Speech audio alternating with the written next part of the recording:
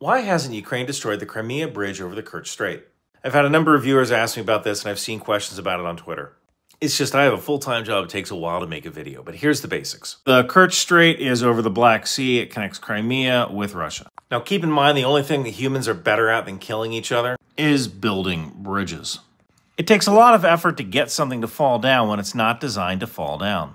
It takes a lot of explosives. And in order to increase your hit probability, you have to fly directly down the bridge. Any bridge that's worth targeting is worth defending, so now you have to fly directly into an enemy who's ready for you. And while a bridge might seem massive when you're standing on it, it looks a lot skinnier at bomb height, especially when people are shooting at you. And as long as the bridge is standing, Russia is forced to protect it. This might keep expensive Russian surface-to-air missile systems in Crimea and away from the active battlefield.